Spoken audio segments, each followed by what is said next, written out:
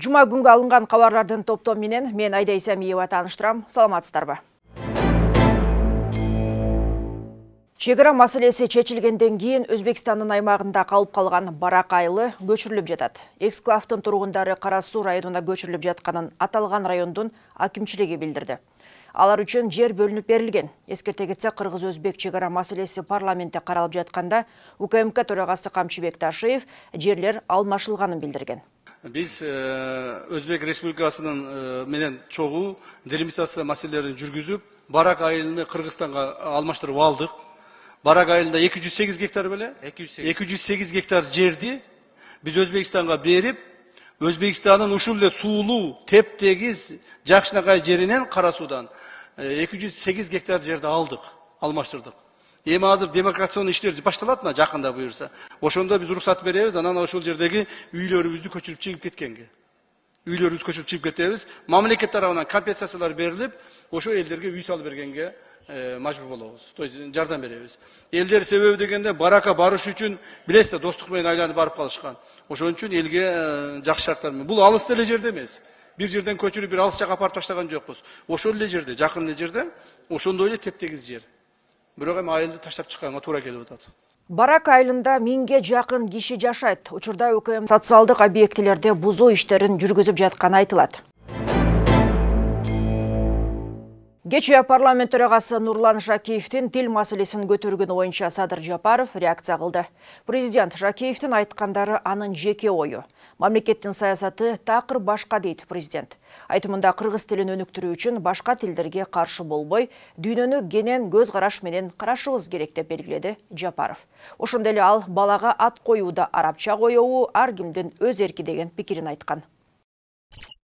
Кыргыз тили эч качан өлбөйт түбөлүк жашайт. Өнүгөт кудайга шүгүр дешибиз керек. Кантип эле тилибиз токсонунчу жылдардагыдай абалда калды дейбиз. Токсонунчу жылдары айылдарыбызда кыргызча сүйлөй албагандар бар болчу. Азыр тескерисинче айылдарда басымдуу көпчүлүгү орусча сүйлөй албай калбадыбы. Себеби айылдарда орус тил сабагынан берген орус мугалимдер жетишсиз болуп жатат. Орус англис тилсиз кыргызстандан ары чыга албай калат жаштарыбыз. Ошондуктан эч качан башка тилдерге каршы болбошубуз керек. Албетте кыргыз тилге да катуу көңүл бурабыз илгери жоголуп кетпеген кыргыз тилибиз эми жоголуп кетмек беле. Ал эми арабча ат коюлуп атат дегени ар кимдин өзүнүн иши. Эң негизгиси жүрөгү. Каны кыргызмын деп соксо болду. Мисалы мухаммед деген ат бизде деле бар. Негизи көп эле аттар окшош келет.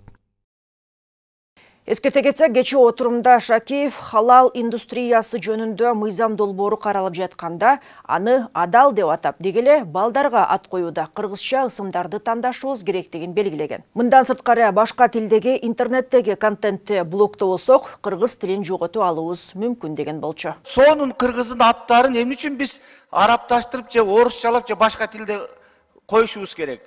Бул абдан маани бере турган нерсе. Эгерде биз нукура кыргызча аттарды койбосок, анда тилибиз жоголуп бараткан аз келгенсип кыргыздын аты да жоголуп кетет урматтуу депутаттар.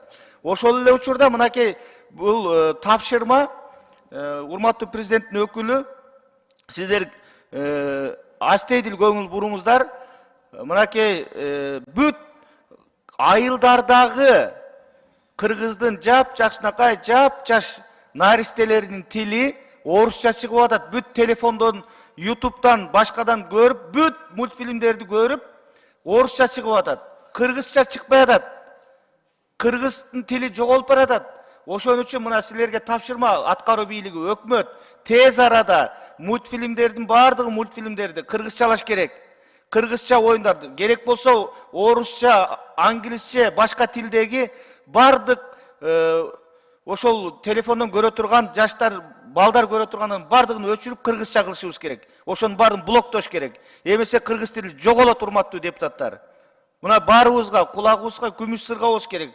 Бүгүн биз тилди сактап калбасак эртең ушундай коркунуч болуп атат беш он жылдан кийин таптакыр кыргыз тилин жоготуп алабыз. Мына атыбызды жоготуп баратабыз. Аттарыбыз арабча болуп кетти орусча болуп кетти башка тилде болуп кетти урматтуу депутаттар. Бул абдан көңүл бере турган нерсе шакиевдин бул сөздөрүнө укмк төрагасы камчыбек ташиев дагы кошулбайт ал муну адашкан пикир деп эсептейт айтымында башка тилдер болбосо кыргыз тили да өнүкпөйт ошол башка тилдер аркылуу дүйнө тааныйт билимдүү болот дейт укмк төрагасы менин максатым айылдык балдар дагы башка тилдерди билип дүйнө жүзүн тааныса экен дейм. Өзүм мектепти бүткөндөн кийин россияда университетти аяктадым жаңы барганда тилден өтө кыйналгам ошондуктан орус тили биздин келечек муундар үчүн өтө маанилүү. Спикерди бул маселеде колдой албайм. А кыргыз тили эне сүтүбүз менен каныбызга сиңип калган. Өмүр өткөнчө унутпайбыз буюрса Ал арада биздин тышкы иштер министрлиги Москвадагы полициянын биздин дипломатка кылган айыптап, орус элчилигине нота жөнөттү. Буга чейин маалымат полиция кызматкерлери Кыргызстандын элчилигинин кеңешчиси Манас Жолдошбековдун батирине күч колдонуп кирип, өлкөдө жүрүү мыйзамдуулугун текшерүүгө алышкан. Натыйжада үй бүлө мүчөлөрүнө да кол көтөрүшкөнү кабарланган дипломат жана анын үй бүлө мүчөлөрү дипломатиялык паспорттарын жана дипломатиялык карталарын көрсөткөнүнө карабай. Милиция кызматкерлери алардан миграциялык каттоо документтерин берүүнү талап кылышкан. Натыйжада дипломаттын аялынын денесине жашы жете элек балдарына психологиялык жактан зыян келтирилген. Тышкы иштер министрлиги Орусиянын элчилигине нота тапшырып, окуяны тыкыр иликтөөнү жана күнөөлүүлөрдү тез арада жоопко тартууну талап кылды. Орусияда дипломаттарыбыз ушундай кордук көрүп жатса, башка жөнөкөй жарандарыбыз кантты экен дейт депутат Дастан Бекешев.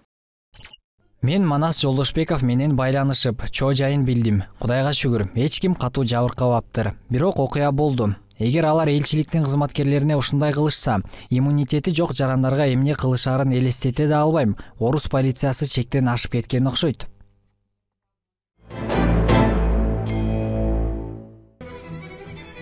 Великие исполнители 21 века. Музыканты, покорившие самые известные сцены мира. 19 апреля в Кыргызском драматическом театре выступят дирижер и кларнетист Валентин Урюпин, скрипачка Дарья Зиаддинова в сопровождении камерного оркестра «Ойно». В рамках концерта прозвучат произведения Альфреда Шнитке, Моцарта и Мендельсона. 19 апреля в 19.30 Кыргызский драмтеатр. Билеты на сайте ticket.kg и по телефону 704 40 0002. При поддержке Шах Пелос Хотел и медиагруппы Европа.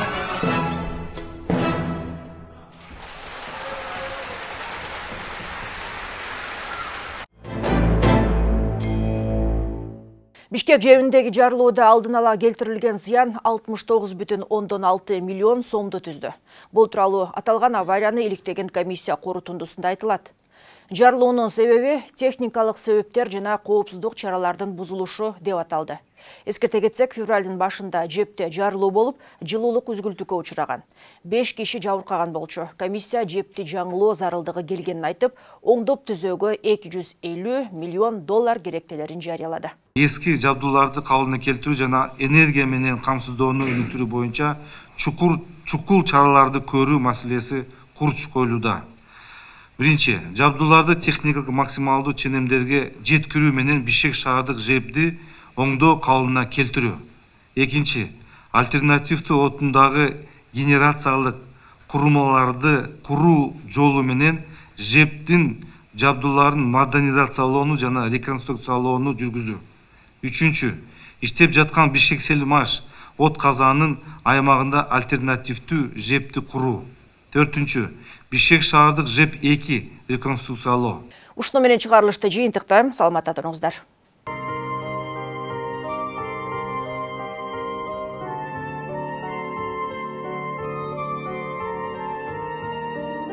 Экөөнүн сүйүүсү капастан качып чыккан эркин куш сыяктуу эле жакында жамиля биринчи улуттук мюзиклы он экинчи апрелден он жетинчи апрелге чейин кыргыз улуттук филармониясында. Билеттерди кассир чекит сайтында жана филармониянын кассасында алса болот